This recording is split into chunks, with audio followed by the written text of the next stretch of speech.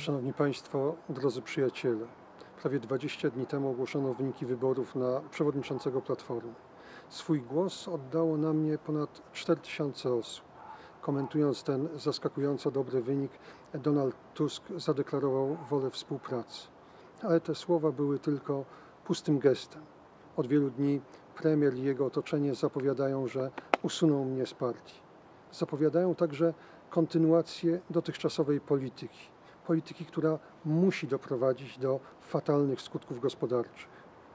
Likwidacja drugiego filaru emerytalnego to nic innego jak znacjonalizowanie prywatnych oszczędności.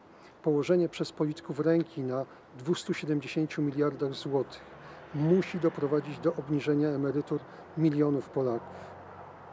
Donald Tusk i Jacek Rostowski zapowiadają dalsze podnoszenie podatków, a i tak planowana przez nich dziura w przyszłorocznym budżecie jest rekordowo wysoka.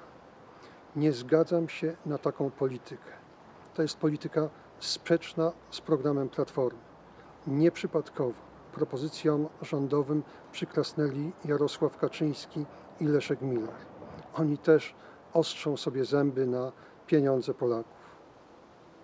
Przez ostatnie miesiące walczyłem o to, by Platforma wróciła do swoich korzeni, ale dziś doszedłem do granicy, za którą lojalność wobec własnej partii stoi w konflikcie z lojalnością wobec obywateli. Dlatego podjąłem decyzję o wystąpieniu z Platformy Obywatelskiej. Dziękuję wszystkim koleżankom i kolegom za lata współpracy. Spotkałem wśród Was wielu wspaniałych, oddanych Polsce ludzi. Wierzę, że z wieloma z Was będę jeszcze w przyszłości współpracował. Szczególnie serdecznie dziękuję tym, którzy na mnie głosowali. Łączą nas wspólne wartości. Od dziś będę walczył o te wartości poza partią. Zapewne wielu z Was pójdzie moim śladem. Musimy sprzeciwić się polityce Tuska, Kaczyńskiego i Millera. Musimy sprzeciwić się polityce zadłużania Polaków, podnoszenia podatków, utrudniania życia przedsiębiorcom, traktowania obywateli jak dzieci, które wolą słuchać miłych kłamstw i pustych obietnic niż trudnych prawd. W przeciwieństwie do Tuska, Kaczyńskiego i Millera, ja wierzę w Polaków. Podczas podróży w ostatnich miesiącach spotkałem tysiące fantastycznych osób, ciężko pracujących na sukces swój i swoich dzieci. Otrzymałem dziesiątki tysięcy maili z wyrazami poparcia.